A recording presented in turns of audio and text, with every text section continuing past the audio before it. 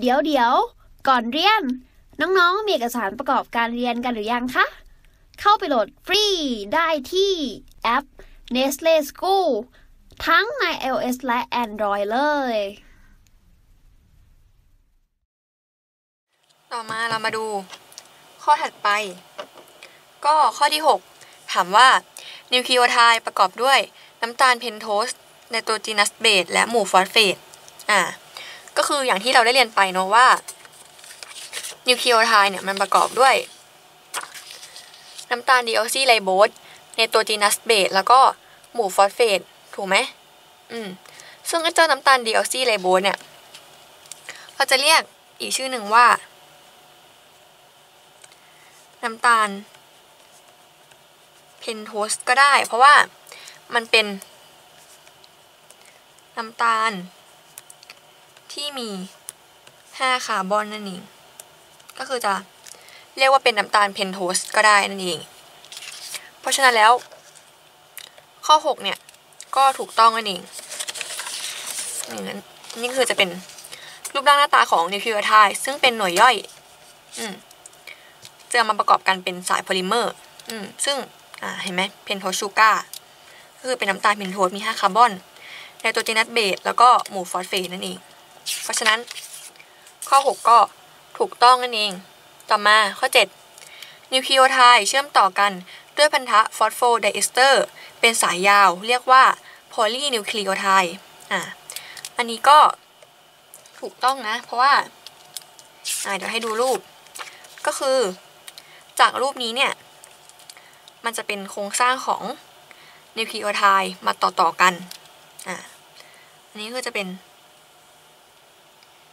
นิวคลีโอไทด์หนึ่งอันนิวคลีโอไทด์นิวคลีโอไทด์นิวคลีโอไทด์ซึ่งมันจะมาต่อกันเป็นสายยาวอ่าโดยที่ถามว่ามันต่อกันได้ยังไง ก็คือมันจะเชื่อมต่อกันด้วยพันธะที่เรียกว่าฟอสโฟไดเอสเตอร์นั่นเองอืม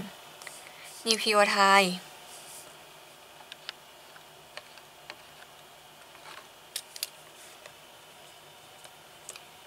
นิวคลีโอไทด์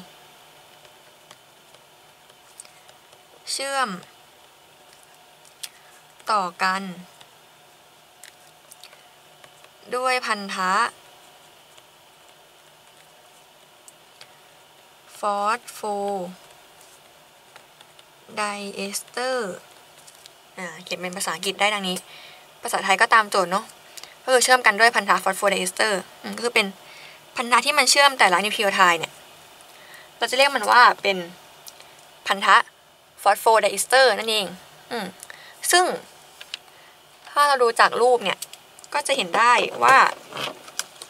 มันจะเป็นการเชื่อมกันระหว่าง หมู่ฟอสเฟต อ่า อันนี้ กับ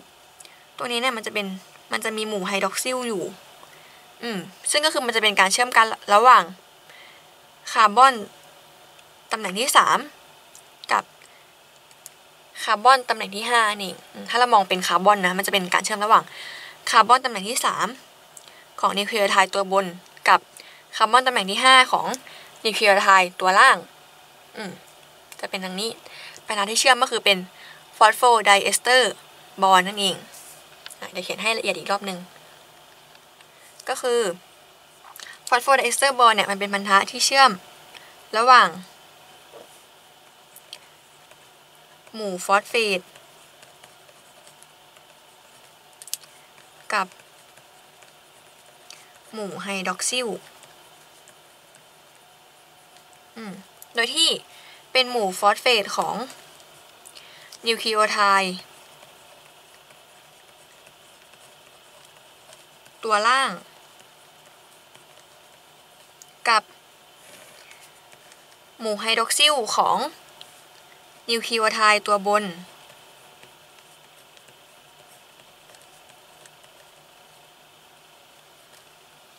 ดังรูปนี้ อืมก็จะเป็นมีหมู่ OH อยู่ก็คือจะเป็นหมู่ไฮดรอกซิลก็คือเป็นการเชื่อมระหว่างหมู่ไฮดรอกซิลกับหมู่ฟอสเฟตซึ่งพันธะที่เชื่อมนั้นจะเรียกว่า phosphodiester bond นั่นเองอืมโดยที่ เราจะเห็นว่า ปลายนี้เนี่ย เห็นไหมมันจะเป็น ขียนว่าห้าพรามปลายห้าพรามกับปลายด้านล่างเนี่ย เขาจะเรียกว่า ปลายสามพรามซึ่งไอ้เจ้าห้าพรามกับสามพรามเนี่ย มันคืออะไร อ่า มันก็คือเป็นตำแหน่งของคาร์บอนนั่นเอง ซึ่งจะเห็นว่านิวคลีนิวคลีโอไทด์ตัวนี้เนี่ย มันจะมีหมู่ฟอสเฟตอยู่ตรงนี้ถูกไหมซึ่งหมู่ฟอสเฟตเนี่ยมันต่ออยู่กับคาร์บอนตำแหน่งที่ 5 เราจึงเรียกปลายด้านนี้ว่าปลาย5 prime ส่วนปลายล่างเนี่ย ตัวที่อยู่ล่างสุดเนี่ยมันคือหมู่ไฮดรอกซิล ซึ่งมันต่ออยู่กับคาร์บอนตำแหน่งที่ 3 เราจึงเรียกปลายด้านล่างนี้ว่าปลายสาม prime นั่นเองอันนี้ก็คือจะเป็นโครงสร้างของนิวคลีโอไทด์เป็นดังนี้ คือพันธะที่เชื่อมระหว่างนิวคลีโอไทด์สองอันเนี่ย เราจะเรียกมันว่า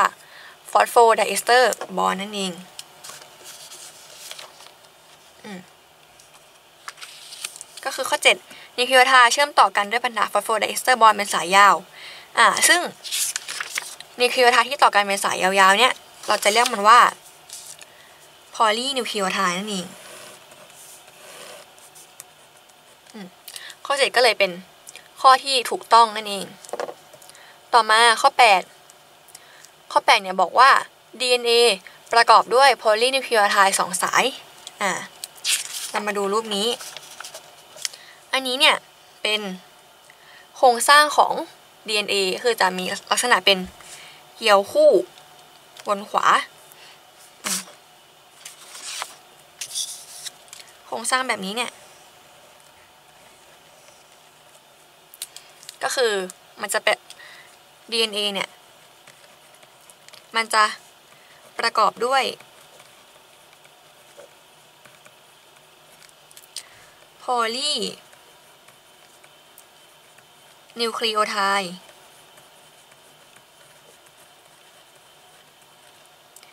สองสายอืมดังรูปนี้ก็คือ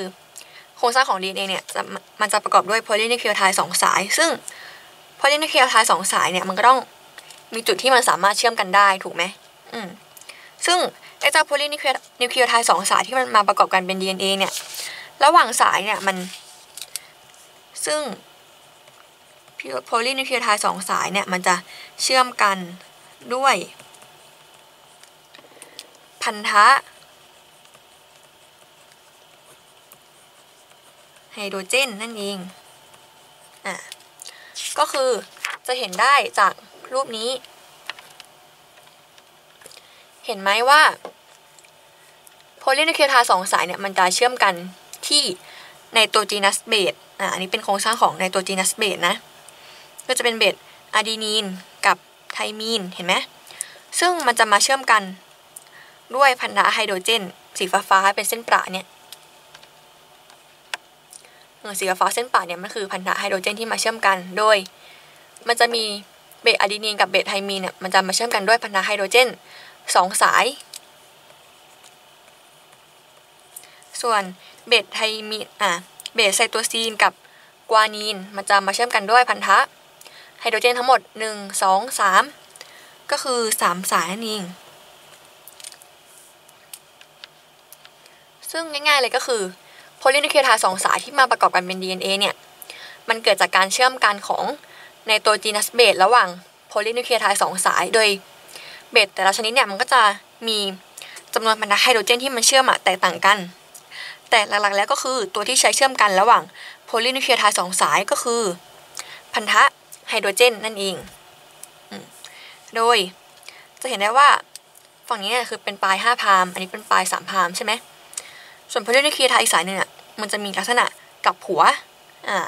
ซึ่งพอมันกลับหัวปุ๊บแทนที่ฝั่งนี้จะเป็นปลาย5พามเหมือนเดิม ฝั่งนี้ก็จะเป็นปลาย3พามแทน และฝั่งนี้ก็จะเป็นปลาย5พามนั่นเอง เป็นลักษณะดังนี้อืมก็คือเราได้แล้วสำหรับคำอธิบายข้อที่ 7 แล้วก็ข้อที่ 8 ก็คือ DNA เนี่ยประกอบด้วยโพลีนิวคลีโอไทด์สองสาย เป็นข้อความที่ถูกต้องนั่นเอง ต่อมาเรามาดูข้อที่ 9 ข้อสุดท้ายก็คือ บอกว่า การเปลี่ยนแปลงของยีนหรือโครโมโซมเนี่ย ไม่ส่งผลให้เกิดการเปลี่ยนแปลงลักษณะทางพันธุกรรมของสิ่งมีชีวิต อะ ข้อนี้ง่ายมากเลย เพิ่งเรียนไปเนาะ คือการเปลี่ยนแปลงของยีนหรือโครโมโซมเนี่ย มันถามว่ามันส่งผล ให้เกิดการเปลี่ยนแปลงลักษณะทางพันธุกรรมของสิ่งมีชีวิตไหมอืมคำตอบก็คือ มันต้องส่งผล ให้เกิดการเปลี่ยนแปลงลักษณะทางพันธุกรรมของสิ่งมีชีวิตนั่นเอง เพราะฉะนั้นข้อ 9 ก็ผิดนั่นเอง อืมซึ่งการเปลี่ยนแปลงของยีนหรือโครโมโซมเนี่ยก็จะทำให้ เกิดลักษณะที่ผิดปกติขึ้น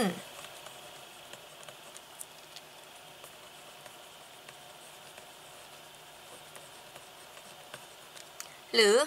อาจจะทำให้เกิดโรคต่างๆทางพันธุกรรมขึ้นมาได้นั่นเอง สุดก็คือการเปลี่ยนแปลงของยีนหรือโครโมโซม หรือเราเรียกมันว่าการกลายหรือมิวเทชันเนี่ย มันจะส่งผล ให้เกิดการเปลี่ยนแปลงลักษณะทางพันธุกรรมของสิ่งมีชีวิตนั่นเอง เรียนจบแล้ว อย่าลืมเข้าไปฝึกทำข้อสอบแบบจับเวลา ในแอป Nestle School กันด้วยนะจ๊ะ ถ้าน้องๆมีคำถามสงสัย ไม่เข้าใจตรงไหน ถามว่าในแอปได้เลย แล้วพี่ๆจะรีบเข้าไปตอบให้นะคะ ทำกันบ้านไม่ได้ไม่ต้องเศร้ามาดูความรู้ช่องเรานะคะ